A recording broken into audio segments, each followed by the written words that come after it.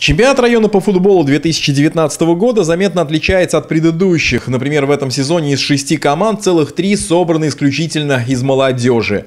А это дает определенную надежду на то, что футбол в Сергиевском районе обязательно будет процветать. Второе отличие – борьба за титул со стороны сразу нескольких коллективов. Судите сами, сейчас на победу претендуют буровые технологии, Сергиевск, Колос и Нефтяник.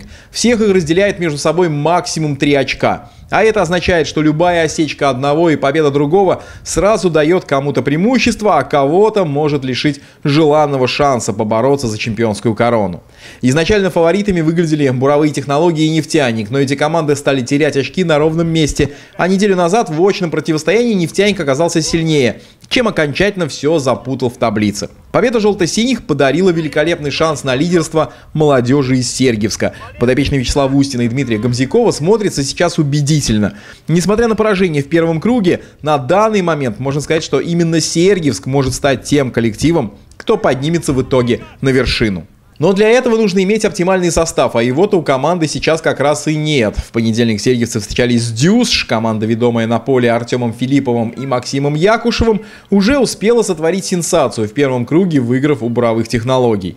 В остальных матчах совсем юные футболисты борются отчаянно, но пока им не хватает ни физических кондиций, ни психологической устойчивости, да и опыта, откровенно говоря, маловато. Отчетный поединок наглядно это все продемонстрировал. В первом тайме сергиевцы открыли счет, но футболисты Дюсш Дюсш равновесие восстановили. Незадолго до перерыва игроки в желтых майках вышли вперед. А во втором тайме, несмотря на то, что Дюсш много владели мячом, сергиевцы успех свой закрепили. В стартовые 15 минут второй половины две разящие атаки завершились точными ударами со стороны нападающих Сергиевска. Преимущество желтых выглядело очевидным. До завершения встречи сергиевцы еще несколько раз огорчили вратаря Дюсш.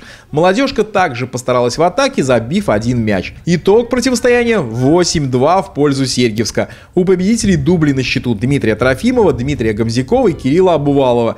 По одному мячу на свой счет записали Вадим Егоров и главный бомбардир чемпионата Денис Барсуков. Таким образом, Сергиевск набирает 15 баллов и сравнивается по этому показателю с буровыми технологиями. До завершения чемпионата еще две с половиной недели, однако в борьбе за чемпионство и медали совершенно ничего не ясно.